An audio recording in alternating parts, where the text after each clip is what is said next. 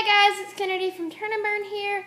So I haven't been able to upload a lot, but I'm actually having to film on my dad's iPad because it was as of right now, our computer doesn't work, so I can't just like plug my um, camera into it. So you're all gonna have to deal with videos off the iPad, and this is like not really a tack haul because I didn't like buy it like recently. Like I bought it like two or three weeks ago, and I just haven't taken it out to the barn. But I bought this saddle rack, but all my videos are gonna have to be face to face for a little while, or like videos like this.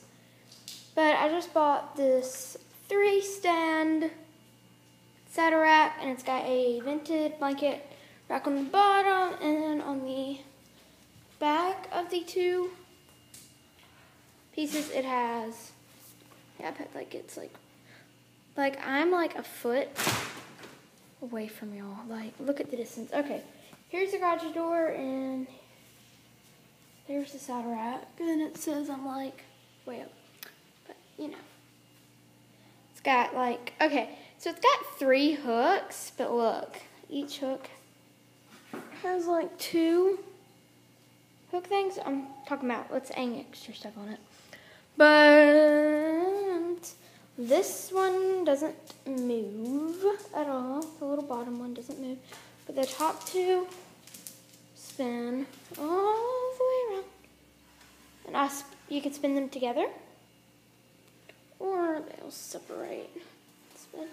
See that? I like trying to spin on one-handed. Because I have to one still and spin the other. There's not like a place for me to stand and hold on to. Alright, here we go.